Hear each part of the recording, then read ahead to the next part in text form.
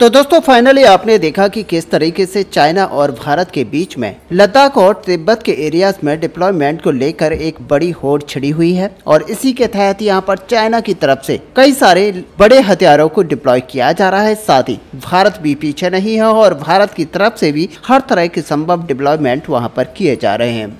ऐसे में दोस्तों, अगर सबसे पहले चाइना को देखा जाए तो यहाँ पर चाइना से ये बड़ी खबर निकल कर आ रही है कि रिसेंटली चाइना के द्वारा भारत के रफाल फाइटर जेट के अंगेज में एक एक्सरसाइज को कंडक्ट कराया गया है। और ऐसे में दोस्तों, जब से आपने देखा होगा कि राफेल फाइटर जेट्स को जब से भारत के द्वारा खरीदा गया है, तब से यहाँ पर चाइना के द्वारा एलएसी वाले क्षेत्रों में काफ़ी व्याकुलता दिखाई गई है और यहाँ पर एक बड़ा डिप्लॉयमेंट चाइना की तरफ़ से तभी से किया जा रहा है। और ऐसे में यहाँ पर चाइना को ये डर अक्सर बना रहता है कि इंडियन एयरफोर्स इस इलाके में बड़ी मात्रा में राफेल फाइटर जेट को डिप्लॉय कर सकती है। और अब यहाँ पर बताया जा रहा है कि चाइना ने तिब्बत वाले इलाके में एस फोर हंड्रेड की डिप्लॉयमेंट की है और ये स्पेशली राफेल फाइटर जेट्स को देखते हुए की गई है।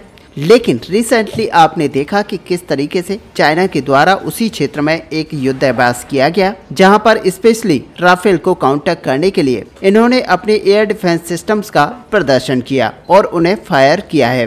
ऐसे में कई बार ये बड़े अपडेट्स निकल कर आए हैं, जिसके ये क्लियरली बताया गया है कि चाइना हमारे राफेल फाइटर जेट को लेकर कितना ज़्यादा कॉन्सियस है और इसके अंगेज में वो हर संभव प्रयास कर रहा है। और ऐसे में आपको बता दें कि आपको पता ही होगा कि चाइना के हथियार तो बोगस होते ही हैं, लेकिन चाइना फिर भी इन पर पूरी कोशिश करता है। और एच यू नाइन वही एयर डिफेंस सिस्टम है जो की चाइना के द्वारा खुद ही बनाया गया है और इसको एक एस थ्री हंड्रेड के समकक्ष माना जाता है।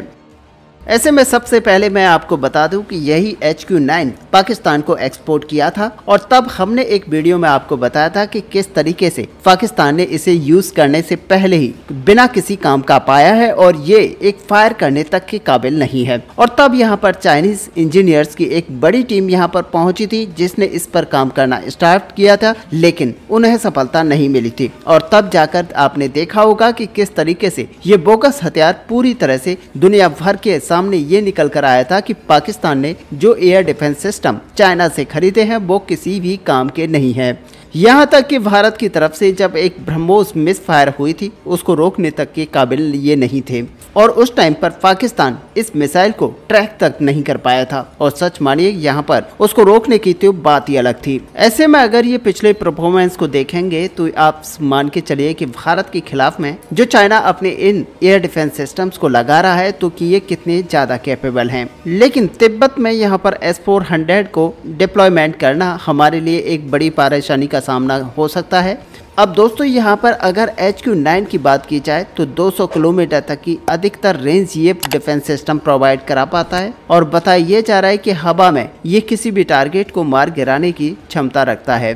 और इसकी जो एक्टिव मिसाइल्स होती हैं, उनके अंदर होमन सीकर का इस्तेमाल किया जाता है। अब ये भारत के रफाल से इसलिए भी परेशान है, क्योंकि रफाल एक्चुअल में बहुत ही ज़्यादा कैपेबल फाइटर जेट है और ये अपनी सीमा में रहते हुए भी 60 किलोमीटर अंदर तक फायर कर सकता है और अपने टारगेट को निशाना बना सकता है। सबसे बड़ी बात यहाँ पर यह है कि ये बहुत ही एल्टीट्यूड वाले इलाके में भी बहुत ही अच्छे परफॉर्मेंस के साथ एक्टिवेट रहता है और यहाँ पर चाइना उसका मुकाबला नहीं कर पाता। हालाँकि हमने पहले भी आपको बताया था कि किस तरीके से चाइना का जे ट्वेंटी फाइटर जेट तक इतने एल्टीट्यूड पर काम नहीं कर पाता। उसका इंजन जो है, यहाँ पर पूरी तरह से डगमगाता है और यहाँ पर उड़ान भरने के काबिल ही नहीं रहता है। तो ऐसे में आप मानकर चल सकते हैं कि चाइना के पास इस तरीके के फाइटर जेट्स नहीं है, जो कि इतने एल्टीट्यूड वाले क्षेत्रों में गश्त लगा पाए या फिर फाइट को कर पाए। अब दोस्तों, दूसरी तरफ़ अगर भारत की बात की जाए तो भारत की तरफ़ से अपने BMD सिस्टम को लेकर बेंगलुरु के पास ही एक बड़ा रडार सिस्टम को तैनात किया जा रहा है, जो कि यहाँ पर माना जा रहा है कि इसको डिप्लॉय किया जा सकता है। और ऐसे में जो नया डिप्लॉयमेंट चाइना के खिलाफ में लद्दाख रीजन में किया गया है, वो यहाँ पर दिखाता है कि भारत ने अपनी स्थिति को मज़बूत किया है और आने वाले समय के लिए भारत अपनी तैयारियों को पूरा कर रहा है। तो इसी को लेकर अब यहाँ पर चाइना और भारत के बीच में फाइट बनी हुई है। ऐसे में दोस्तों, इस बड़े अपडेट को लेकर आपका यहाँ पर क्या व्यू है? क्या भारत के सामने चाइना यहाँ पर टिक पाएगा?